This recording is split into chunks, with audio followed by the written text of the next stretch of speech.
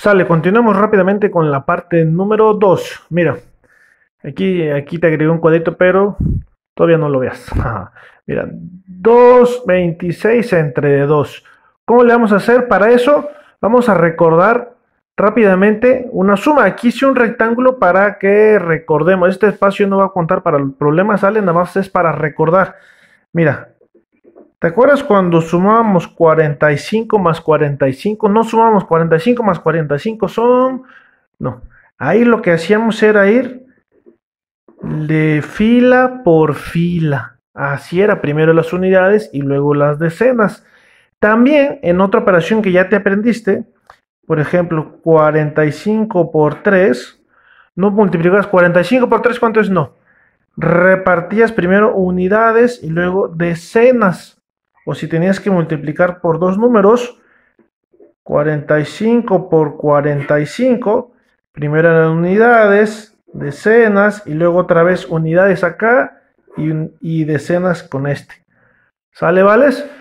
Esto es importante recordarlo, por eso te hacía yo tanto énfasis en los, en primero y en segundo, respeta la fila, respeta los lugares, respeta el número, el lugar de cada quien. Anota, siempre los regañaba, anota en el cuadrito de abajo, no anotes en otro cuadrito, siempre en fila. Ya sabían cómo era yo, bien enojón. Bueno, pues ese es el gran secreto para hacer este estas divisiones, estas divisiones de dos números o de muchos números, ¿sale? Y ahí va. Dice, ¿puedo, ¿puede repartirnos los 26 entre 2, por favor? Está bien, pero vayan uno por uno. Sale, vale. Entonces, ocupamos este primerito de aquí. ¿Sale, vale? Este todavía no. Primero este. Dos niños, dos cantidades. ¿Cuántas veces se repite para llegar al 2? 2 por 0, 0. 2 veces el 1 es 2.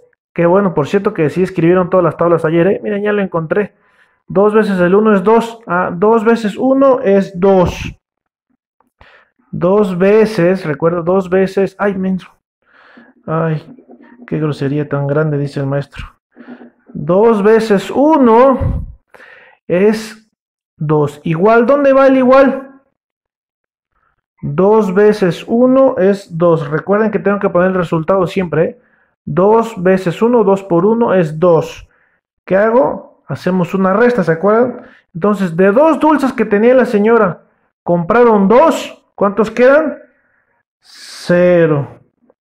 Ahora, ¿cómo vamos a hacer este número? Aquí viene el gran truco. Y vamos a hacer otro pedacito para recordar. ¿Sale? Vamos a... Esto es nada más para recordar en tu mente. Fíjate aquí. ¿Te acuerdas 45 por 2? Ay, por 2.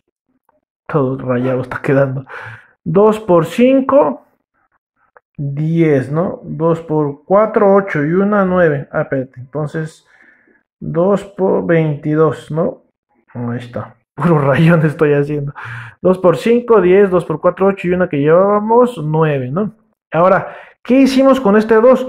2 por 5, 10 otra vez. ¿Lo poníamos aquí abajo? No, lo recorríamos hacia acá, ¿no? 2 por 5, 10 y 2 por 4 y una que llevamos, 8, 9, ¿no? Entonces ya se hacía la suma 0, 9 y 9. Muy bien aún así tuviera muchos números, se iba a ir recorriendo. Esto se hizo de ladito, se hizo como en diagonal. Bueno, esto parecido, no tan igual, parecido pasa en las divisiones.